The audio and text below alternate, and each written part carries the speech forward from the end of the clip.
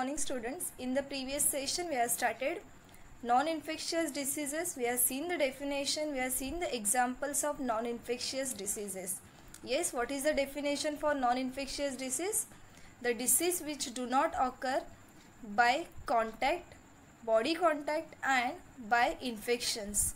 Yes, are known as non-infectious diseases. For examples, cancer, diabetes, heart attack. These are the examples of non-infectious diseases. Now in lesson number 2 health and diseases we'll move to the next part that is misuse of medicines. Sometimes some people take the medicines without prescription of doctor. Yes, we also have a habit. Sometimes if we are not feeling well, we if we have cold, cough, headache, then uh, if we are not feeling well, then we are taking medicines from the medicals yes without doctor's prescription. That is harmful for our health. Overdose of medicines may affect our body. Sometimes overdose of medicines may affect our body. Example overdose of painkillers may damage nervous system. Yes overdose of painkillers may damage our nervous system. Excretory system liver overdose of antibiotics may lead to nausea stomachache dysentery, rash, white patches on tongue, etc. So, uh, there are examples are given. Overdose of painkillers may damage to our excretory system, nervous system and liver. And uh, overdose of antibiotics, antibiotics are the tablets or the medicines which are effective against bacteria and microorganisms so they may, may lead to nausea. Yes we are feeling like vomiting we are feeling sickness stomach ache dysentery rash white patches on tongue etc so overdose of uh, medicines are harmful for our body. And without doctor's prescription we will not take any medicines from the medical. Yes? Okay now we'll move to the next. Generic medicines Generic medicines are also known as general medicines. These are manufactured and distributed without any patent. Patent means without government authority or license. So generic medicines is also known as general medicines. These are manufactured and distributed without any government's authority or license. These medicines are at par in quality with branded medicines. Yes these medicines are at same quality like branded medicines.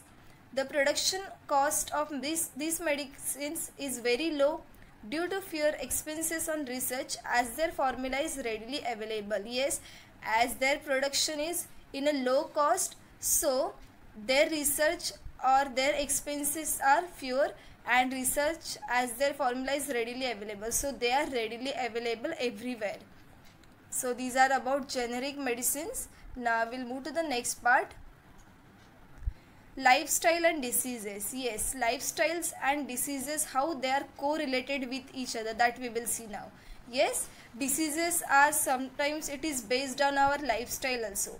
Yes, if our lifestyle is not good, if we are not uh, keeping uh, our body proper or if we are eating junk foods, if you are not sleeping on time then these also causes many kind of diseases.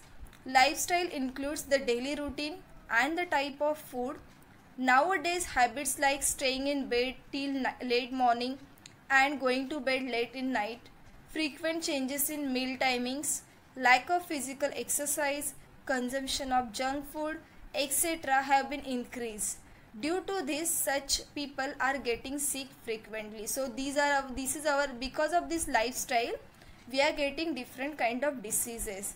Yes so we need to change our lifestyle. Okay? Now we'll move to the next.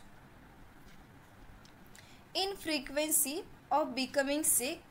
If frequency of becoming sick is to be lowered people should follow right lifestyle. So uh, if frequency of becoming sick is to be lowered then we should follow right lifestyles. For example it must include sufficient sleep.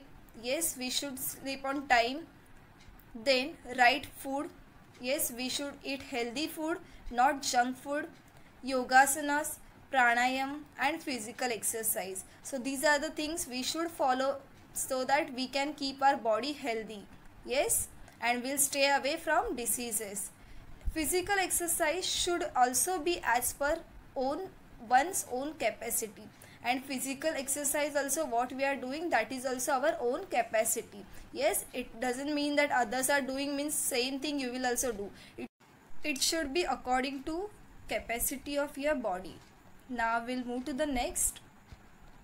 Yes pranayam and yogasana should be performed under the expert supervision so pranayam and yogasanas whatever we are doing it should be under the expert supervision. See the videos of pranayam and yogasanas. We will see the videos and we will follow that. Okay now we'll move to the next part.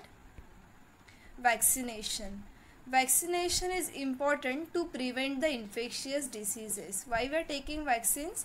Vaccines produce immunity against the diseases yes that's why we are taking different vaccinations. For example rubella vaccination. Then we are taking tb vaccination that is tuberculosis vaccination. Then chickenpox vaccinations. So these are the different examples of vaccination. Yes vaccination is uh, vaccinations we are taking to produce immunity against diseases. Now these are health awareness days 7th april world health day 14 june world blood donation day 29th september world heart day and 14th November is World Diabetes Day. So 7th April is celebrated as World Health Day.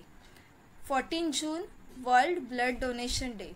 29th September World Heart Day and 14th November World Diabetes Day. So now we'll move to the next part. Understand the importance as you can see a blood donation one unit blood donated by a person can fulfill the need of three persons at a time. For example, RBCs that is red blood corpuscles, WBC white blood corpuscles and platelets. One can save the life of 12 persons by donating the blood 4 times a year. So this is about blood donation, the importance of blood donation one unit blood donated by a person can fulfill the need of three persons at a time. Yes, one unit of blood donated by a person fulfill the need of three persons at a time. One can save the life of 12 persons by donating the blood four times in a year. Okay, so this is the importance of blood donation. Now we'll move to the next part which is last part from our lesson number 2 always remember each disease has specific scientific reason.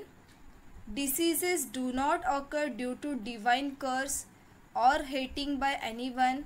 So disease is the reason behind the diseases is not about god and all it is be because of scientific reasons yes diseases can be cured by proper medical treatment and not by chanting mantras or performing magic tricks. And diseases can be cured only by medical treatment. It, it will not be cured by chanting mantras or by performing any magic tricks. So this is about the diseases we have seen in the lesson. We have seen different kinds of diseases. We have seen infectious diseases we have seen non-infectious diseases examples their symptoms reasons and preventive measures i hope you are clear with this we'll just quickly revise what we learned in the lesson so in the starting we have seen the definition of health yes what is the definition health is a state of complete physical mental and social well-beingness and not merely the absence of any disease this is the definition for health. After that we have seen the definition of diseases that is condition of disturbances in physiological or psychological processes of body. It's called as disease. Physiological which is related to body parts and psychological which is related to state of mind that is mental and emotional state of a person. So condition of disturbance in physiological or psychological process of body is called as disease. and each disease has its own specific symptoms that also we have seen then after that we have seen types of diseases as you can see here there are two types of diseases according to duration and according to reasons according to duration we have seen there are two types that is chronic disease and acute disease yes so according to duration chronic disease yes what is the meaning of chronic disease chronic disease means the disease which lasts for a long period of time. For example, we have seen kidney diseases, heart diseases. These are the examples of chronic diseases. After that, we have seen acute diseases. Acute disease means the disease which lasts for a short period of time. For example, cough, cold. These are the examples of acute disease. After that, we have seen the next that is according to reasons. According to reasons, it is specify or it is classified into hereditary disease and acquired diseases. So according to reasons there are two types we have seen hereditary and acquired diseases. Hereditary disease means the disease which pass from one generation to other generation through defective genes. They are called as hereditary disease. In hereditary disease we have seen one example that is Down syndrome Yes, that is genetic disorder. Down syndrome is a genetic disorder. Then, in acquired diseases, we have seen the two types that is infectious diseases and non-infectious diseases. In infectious diseases, the diseases which passed from one person to other person, they are called as infectious diseases or the diseases which, were, which are passed by contaminated food, air, water and vectors. Vectors means insects and animals. So they are called as infectious diseases. We have seen the different examples of infectious diseases. For example, dengue, common cold, flu, yes, so typhoid. These are the examples of infectious diseases. One more example that is corona that is also example of infectious diseases then after that we have seen non-infectious disease. The disease which occurred by not uh, the disease which do not occur by body touch, body contact or by infections. They are called as non-infectious diseases. Yes, it is not passing from one person to other person by touching. Yes, or by using the clothes of that person or by using the belongings of that particular person so they are called as non-infectious diseases. Now, in that we have seen different examples like diabetes, heart diseases, cancer. These are the different diseases which comes under non-infectious disease. Yes, after that we have diseases spread through animals. In that we have studied rabies. Then infection, uh, infections or diseases spread by uh, insects that is dengue, malaria. So these are the examples. We have seen the reasons of the diseases. We have seen the symptoms. After that we have seen the preventive measures and the treatment of these diseases. Yes, after that in the lesson we have studied about the misuse of medicines. Yes, then how lifestyles and diseases are correlated with each other.